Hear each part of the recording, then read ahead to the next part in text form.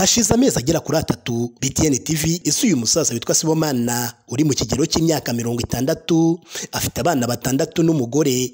Icyo gihe yari yasenyewe inzu n'ubuyobozi bw'umurenge wa Rugerero ku itegeko ry'ubuyobozi bw'akarere ka Rubavu. Iyi nzu yashenywe mu kwezi kwa gatanu uyu mwaka. Bavuga ko inyubako ye yasatiriwe n'aho ubuyobozi bwagombaga kubaka umuhanda. Ubwo bongeye kujya gucura umugambi bihenze saa saba. Tugiye kubona tubone pandagari zuzuye abapolishi baturutse mu murenge wa rubavu abandi baturutse mu kanama abandi baturutse gisenyi.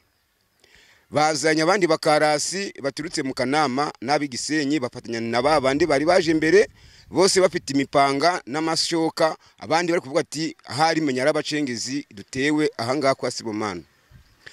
Tugiye kubona tubone imodoka itatu zuzuye abapolishi n'indi ya kane yuzuye abadaso. Urukumva ko abo bantu bose ndakunda umuntu yagombaga kubagwanya ngatekereza ko ngewe ubwo ko ndewe ni ibiki. Hano?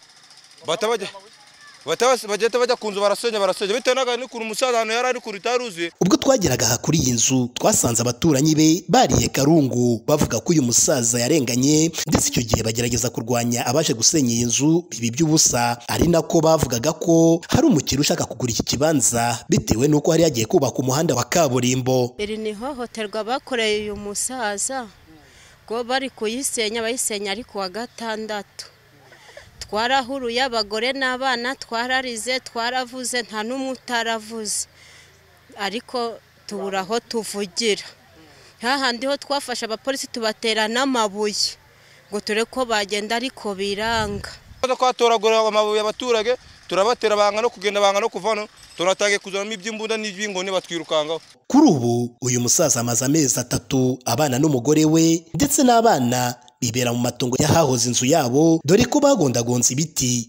Bashyiramo imyenda udushitingi n'ibindi. Ibyo abaturanyi babo bavuga ko bitari bikwiye ku musaza w'imyaka mirongo itandatu n'umuryango we. Kugwa buri kanya turi kuryama twabona imvura iraguye tukiyorosa n'ihema. Burane bwo buzima tubayemo dore ihema ngiririya riri mu nzu. Abana baratatanye na n'ubu kuva kuri makumyabiri n'umwe z'ukwa gatanu nda abana baraha umwe yagiye i nyagasambu. Ntabwo nzi ngo ari hehe. Bahunze kubera kubura aho baryama. Babayeho nabi cyane nta gikoresho agira muri iyi nzu. Nta ntebe nta sahani nta buriri. Buri kimwe cyose cyangirikiye mu nzu. Babayeho nabi ni ukunyagirwa nyine se yakora ikintu kunyagirirwa habona muri iyi nzu uri kubona amabati yose barabisambuye nta na kimwe kiriho. Kariya kantu yafunze agashorera abatarapembeni ni ho aryama hose ubona barabisenye nyine. Ntabwo barokoka n'ubundi bazanapfira ngo umwimvura nose urumva barokoka gute ubona inzu idasakaye? Afite abana afite abana dore bose ni abana bose bano bicaye hano. Urumva urumva babaho gutana mu inzu imeze gutya?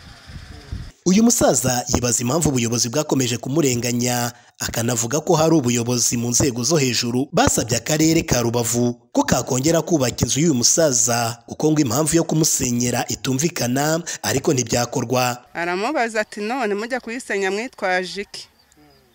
Arahora. Ati none si mwewe icyemezo cyo gusenya mwakivanye he?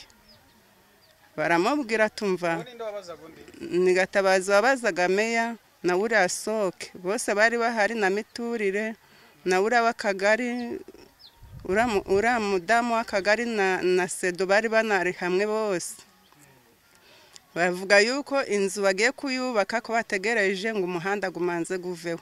Arababwira ati izuba yararyose imvura yaramunyagiye none na n'ubu igiye kongera kumunyagira. Ubwo twajyaga ku karere kubaza impamvu uyu musaza atarenganuwe twategereje umuyobozi w'akarere amasaha arenga atatu nawe ahagereye birinda kugira icyo bavuga kuri iki kibazo ahubwo bajya gukora akanama bahamagaza bamwe mu bakozi bigera n'igihe bazanaga impapuro zirebana n'iki kibazo bigaragara ko bazibitse birengagije ko uyu muryango uri kunyagirwa n'imvura muri iki gihe. Patrick Maisha BTN TV mu karere ka Rubavu mu ntara y'uburengerazuba bw'u Rwanda.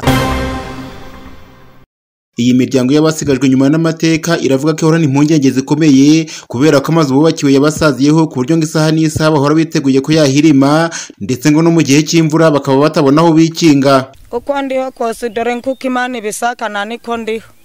None si weho wabaza ibyo uri kureba nka mwarimu? Utansekereza iyo imvura iguye. None none ubundi yagwa naza he nayihunga iyo mvura. Ndatonaga mirongo icyenda zigasira none imvura y'amahindi yizire iyirira ritaguraga amazu n'agamasima gizire ikigangari cyaba cyayihagarara imbere. Imvura yiguye mbese yikagwa yikagwa twumvaga inzu yigiye kuduhirimaho ubwo twageraho tugahaguruka tukicara twategereza imvura yahita tukabona kongera kuza kuryama.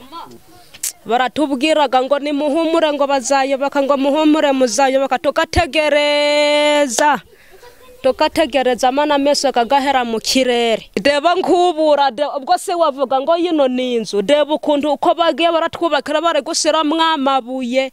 Aga mabuye ubwo si iyo imvura yiguye bino bibuye bizaga biraridagurika. Ni ukwikara tunari kuvuga ntayi ati imvu noneho imvura niyigwa nangwa umuyaga ntibiraduhirima igihe cy'imvura nawe nyine urabona imvura iguye imvura ikagwa birahomombagurikaga bikagwa hasi. Iyi miryango y'abasigajwe inyuma n'amateka irasaba ko yakorerwa ubuvugizi maze aya mazu bubakiwe agiye kubagwaho akaba yasanwa cyangwa se kubakwa bundi bushya kuko ngo abateje impungenge zikomeye cyane. Nkora ubuvugizi data wanjye. Ahari weho bwo ahari uzabukora. Wenda hari igihe imana yakunyoherezaho da weho ukabukora. Tukwiwe gutabarwa ni ukuri kwimana muri guno mudugudu gwa bihinga. Yego nzaba twitayo kimba badukuye muri gano mazu bakagagira neza. Umunyamabanga nshingwabikorwa w'umurenge wa musanze tuyisenge vedaste tuvugana nawe ku murongo wa telefone yavuze ko iki kibazo cy'amazu y'abasigajwe inyuma n'amateka kizwi kandi ko kimwe n'abandi baturage batishoboye ngo hari gahunda yo kububakira. Cyakora uyu muyobozi nta cyizere atanga ku bijyanye n'igihe aba baturage bazubakirwa gusa ngo bigenda bikorwa bahereye ku bababaye kurusha abandi.